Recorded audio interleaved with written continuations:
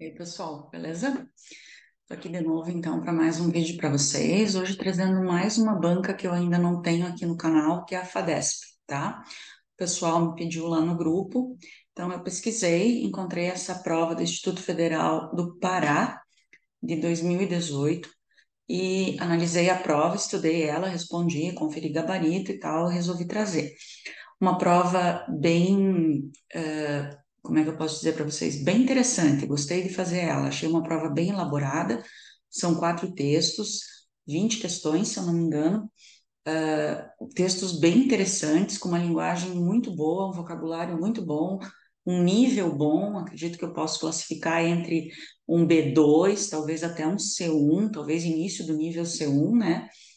E bem uh, textos bem apropriados para professores, um, um, texto bem dentro da nossa área, os quatro textos, as perguntas bem relevantes, muito assim focado em vocabulário, tá? Principalmente formação de palavras. Então, se você está pensando em fazer FADESP, foque bastante em leitura, vocabulário, formação de palavras, principalmente a parte de prefixação, sufixação e como formar palavras em inglês, word formation, né? Então, eu vou analisar aqui a prova com vocês, responder a prova com vocês, falar um pouquinho de cada questão dos textos. Inclusive, tem uma questão que eu não sei explicar, tá? Eu não sei o porquê da resposta, não sei explicar. Vou comentar com vocês quando chegar nessa questão e gostaria, sim, que se alguém tivesse a explicação dessa resposta, deixasse nos comentários porque eu realmente pesquisei e não sei explicar o porquê, que é de, da formação das palavras em inglês, e eu não encontrei explicação e não sei também a explicação, tá? Então, eu agradeço se alguém puder colaborar comigo aí nessa questão. Mas vamos lá, então. Então, vamos começar aqui. Lembrando que eu faço só a parte de inglês, tá? A parte de português, a parte pedagógica, estudei metodologias, abordagens, eu não trabalho. Então, texto 1, going mobile, going further. Então, um, passando para a parte móvel, né, para a parte digital e indo mais longe, né? Esse título soa bem melhor em inglês do que em português, né?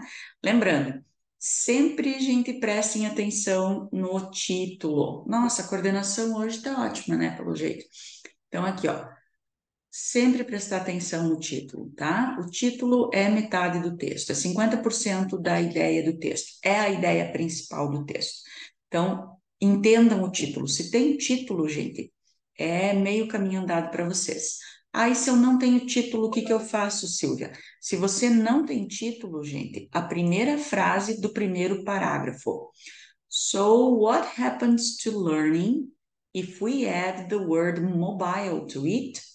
Então, o que acontece com a aprendizagem se a gente acrescentar a palavra móvel a ela? Ou seja, ou seja, se a gente disser aprendizagem móvel, aprendizagem ou aprendizado móvel, né? Seria uh, online, tá? Então, aqui vai falar dessa questão da tecnologia aliada ao ensino e como os professores estão um, reagindo a essa tecnologia, né? Quais são as reações dos professores? Porque alguns amam, outros odeiam, né? Então, uh, é inquestionável essa, essa, esse avanço que tem a tecnologia, essa ajuda que pode trazer a, aos, aos aprendizes, né?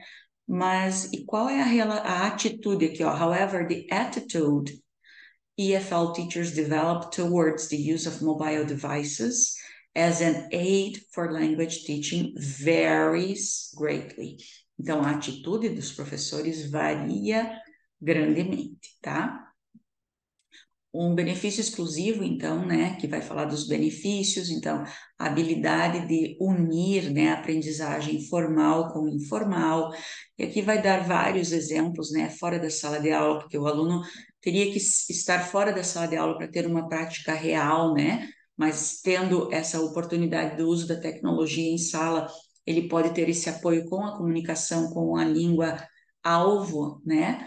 Então, trazer essas dificuldades, essas experiências instantaneamente para a sala de aula compartilhar isso com os colegas, né? Então, essas aqui tem, nesse parágrafo aqui, ó, a gente tem o quê?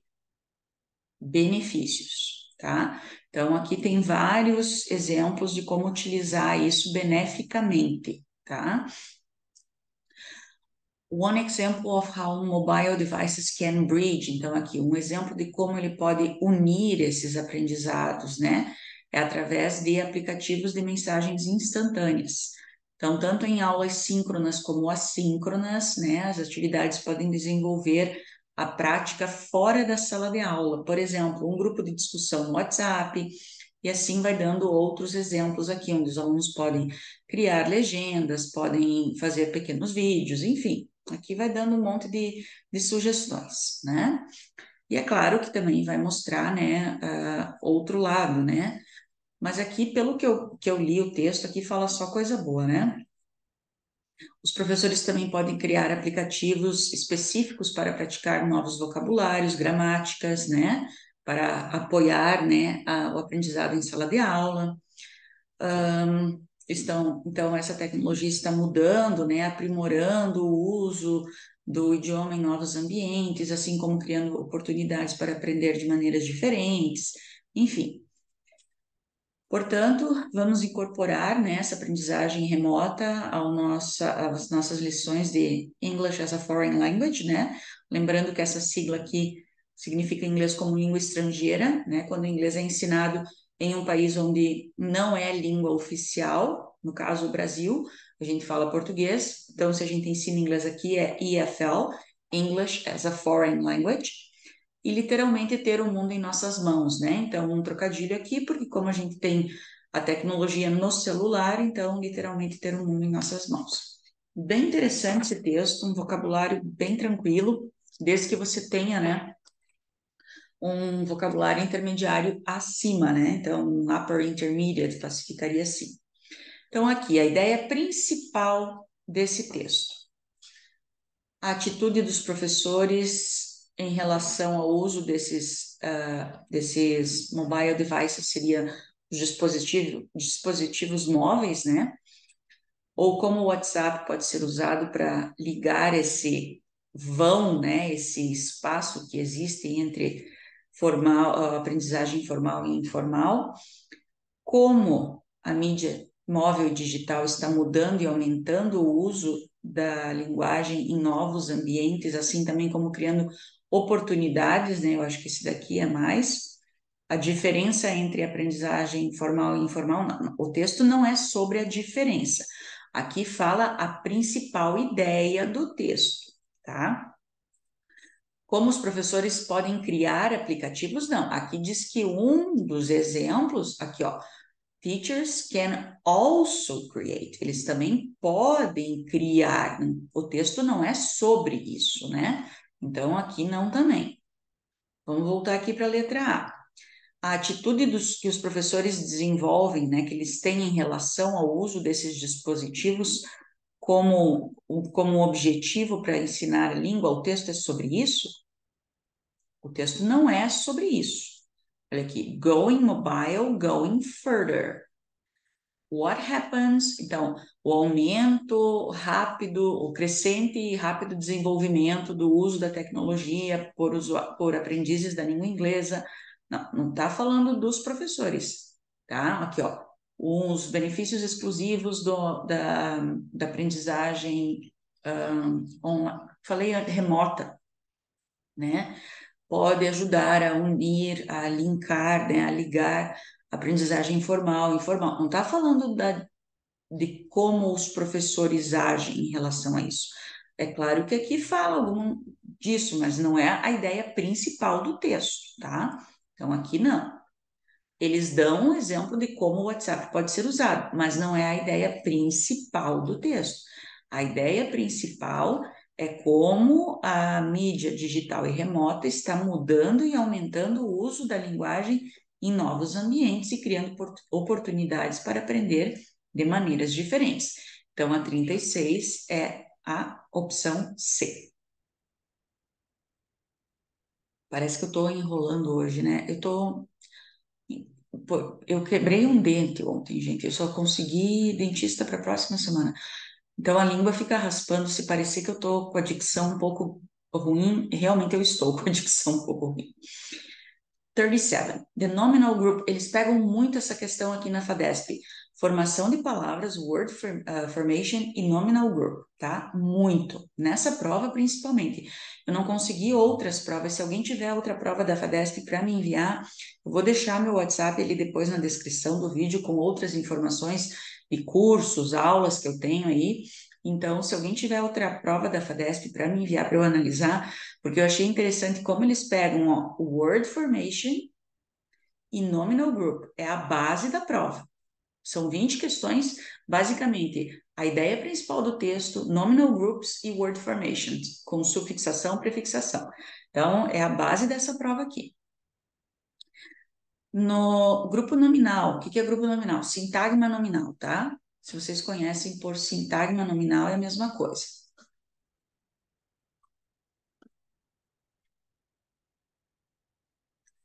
Algumas uh, provas também traz como nominal phrase ou noun phrase.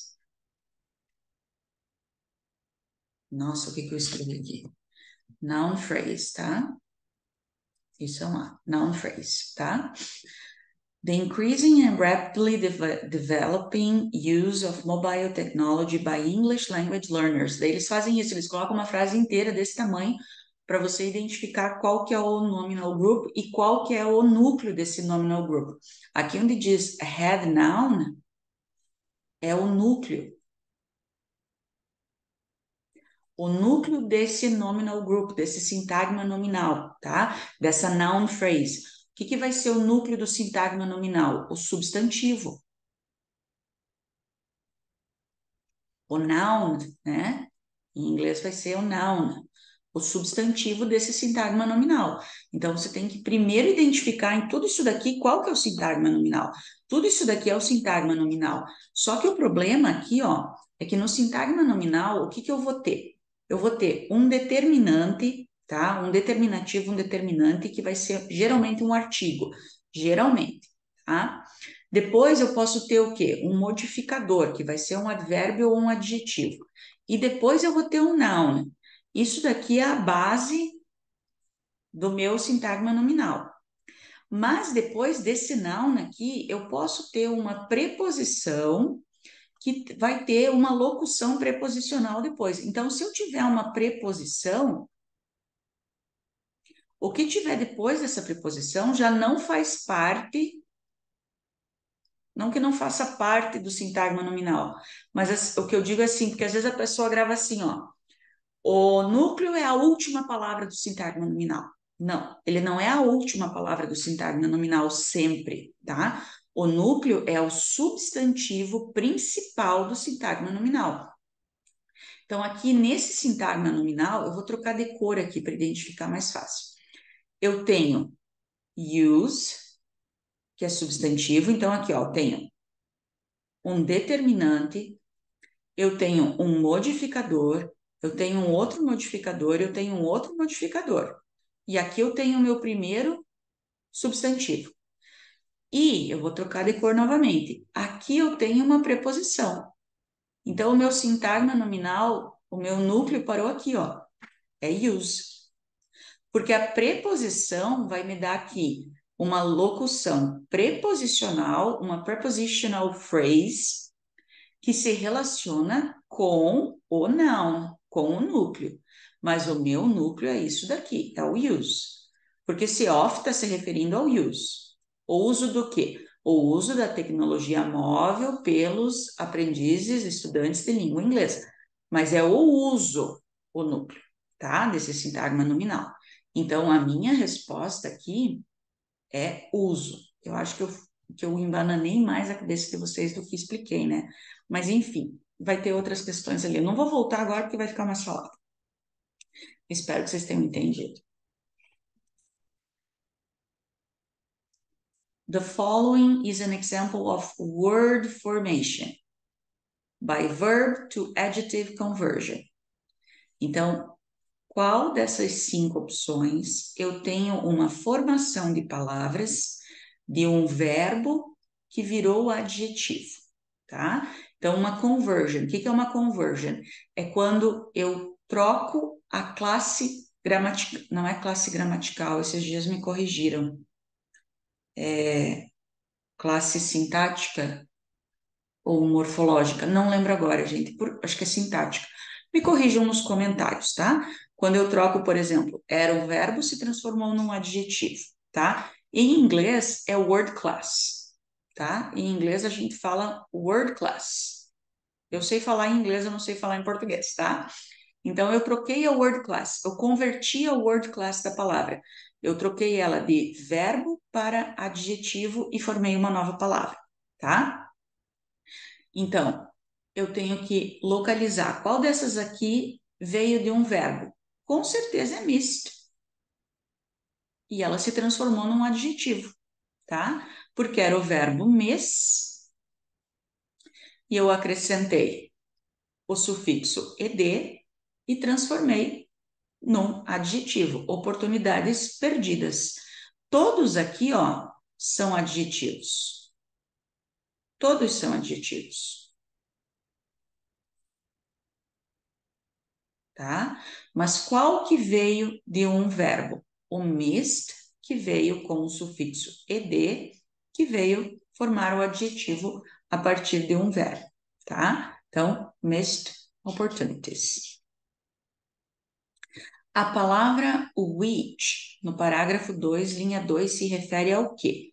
Antes de olhar aqui nas alternativas, vamos voltar lá no texto e identificar, porque se eu olhar aqui só vai embananar, tá? Parágrafo 2, linha 2.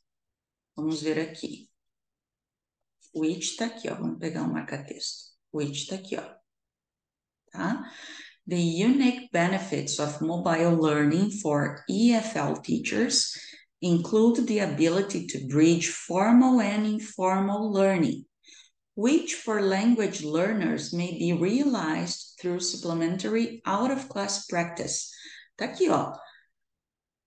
Um benefício, benefícios, os benefícios exclusivos da linguagem remota, perdão, da aprendizagem remota para os professores IFL incluem a habilidade de unir aprendizagem formal e informal, que para estudantes de línguas pode ser percebida através de práticas suplementares fora da sala de aula.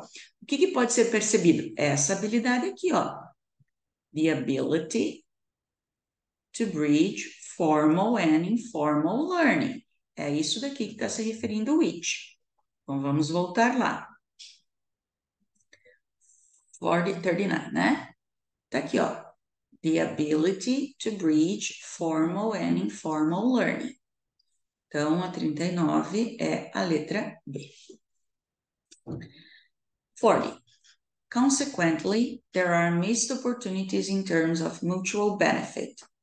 Formal education remains somewhat detached from rapid social technological change, and informal learning is frequently sidelined or ignored when it could be used as a resource and a way to discover more about evolving personal and social motivations for learning. O pronome it se refere ao quê? Aqui, ó, it. Vamos ler aqui, vamos ver. Ele já se referiu alguma coisa que já foi mencionada, porque se ele está aqui, ele está substituindo algo que já foi dito. And informal learning is frequently sidelined or ignored when it could be used. O que, que could be used? Informal learning. E a aprendizagem informal é frequentemente deixada de lado ou ignorada quando ela poderia ser usada como um recurso, está aqui, informal learning. Então, letra B. Ok? Vamos para o texto 2. Então, vamos lá. Texto 2. Onde é que está meu texto 2? Aqui. Novamente, vamos avaliar o título, né? Standard Englishes and world Englishes, living with a polymorph business language. Então, ingleses, né? No caso, está se referindo às várias, às várias variações, né? Estranho falar isso, da, da língua inglesa, né? Tanto padrão como os falados no mundo inteiro, né? Estão vivendo com linguagens comerciais polimórficas, ou acho que é polimorfas, não sei, me corrijam aí. Seriam que tem várias formas, né? Então, aqui vai falar um pouquinho dessa questão do inglês ser a linguagem mundial da comunicação, principalmente na questão dos negócios, negócios né, do comércio, mas que uh, tem a linguagem inglesa padrão, né, o inglês padrão, mas também existe uma imensa variedade de inglês falado pelo mundo todo e questão de nativos, que são falantes do inglês, e aqueles que não são nativos, mas que falam como segunda língua, como língua estrangeira, terceira língua, enfim. Então, todas essas variações, e não tem como você falar um só, né? Padronizar isso pela quantidade de pessoas que falam inglês, que falam inglês pelo mundo. Então, esse texto fala um pouquinho disso daqui, tá? E também aqui é levantado um, uma ideia aqui que eu achei bem interessante. Onde é que tá? Aqui, ó.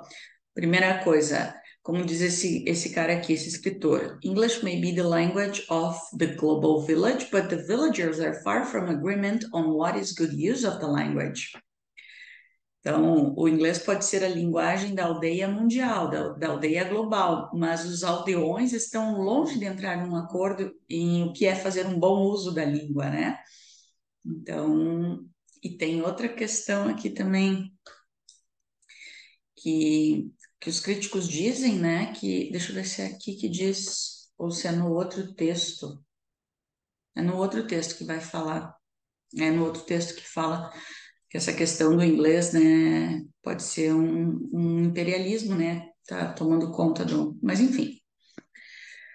Uh, então, vamos às, às questões, né? Esses textos aqui são muito bons. Se vocês quiserem depois o PDF das provas, me chamem lá no meu WhatsApp que eu passo para vocês, tá? Tem aí na internet, é só procurar, mas se quiserem eu passo para vocês sem problema nenhum que se eu ficar aqui traduzindo e tal, pega muito tempo, né? Então, a ideia principal do texto é: Although English has become the language of international business, it presents many varieties that compete with the standards and values of standard English. Faz sentido. English teachers should stay with the standard English if they want their pupils to succeed in international business. Não. US business people are prejudiced against varieties of English in the workplace? Não. Varieties of English jeopardize, é, comprometem a comunicação? Não. The, international, the internationality of English is negative? Não. Então, aqui está falando que o inglês, apesar de ter se tornado né, a linguagem mundial do comércio, apresenta muitas variedades, né, que competem entre si, né, é, questão de valores e cultura.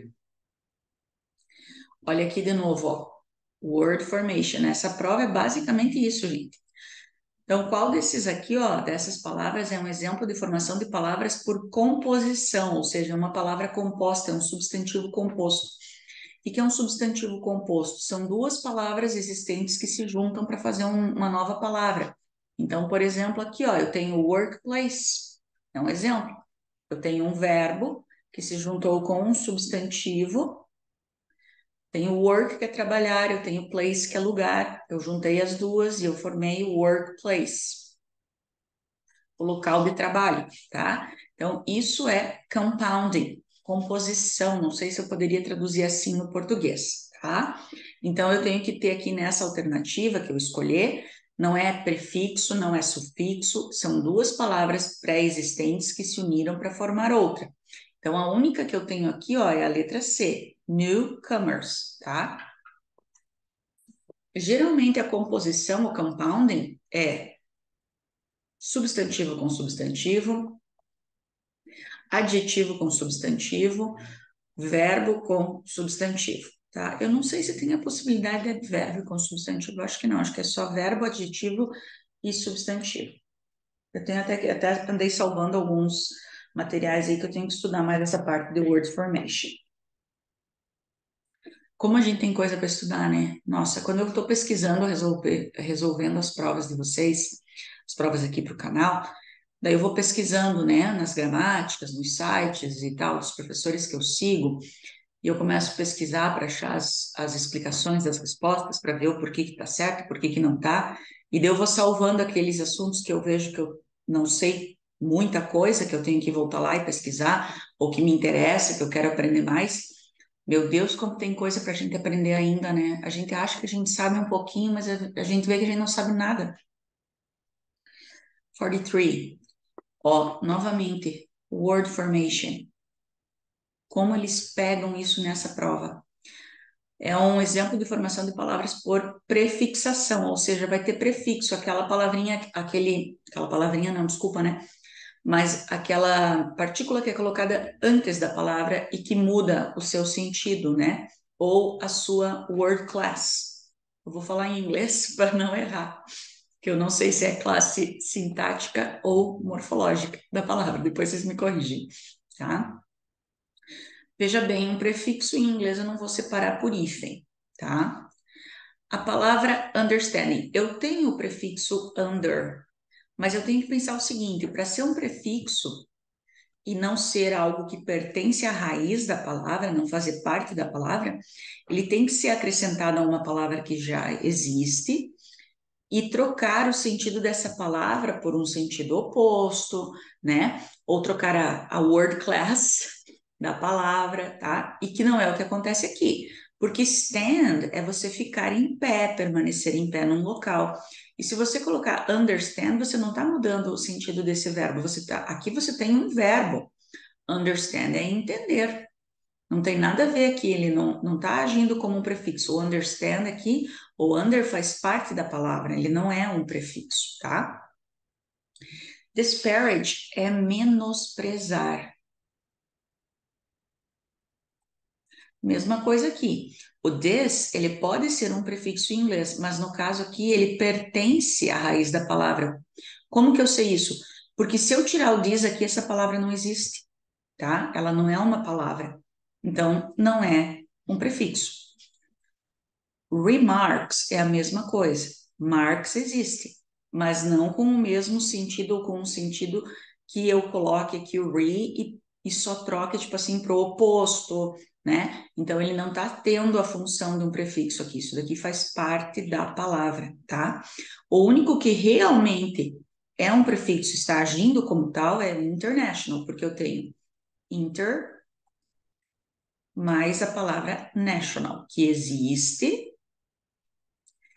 e eu mudo o sentido dela quando eu acrescento o inter. Então, aqui é o international. Ó, nominal group. Nessa frase, what is the place of standard English in teaching business communication in contexts that are more and more international? Qual dessas cinco opções aqui é um nominal group? Então, o que, que eu tenho que avaliar? Lembra que eu falei lá em cima? Um grupo nominal, um sintagma nominal, uma noun phrase, pode ser formada por um determinante, um modificador e um substantivo, tá? Então, eu vou analisar aqui, ó. Tem o Standard English. Modificador substantivo, que está certo. Tem o verbo. Verbo não pode aparecer no sintagma nominal. Preposição. Uh -uh. Porque aqui eu tenho que ter alguma coisa depois da preposição. A preposição me chama, ela pede um complemento, ela pede uma locução preposicional. Então, não é. Teaching business. Por que, que aqui não vai ser?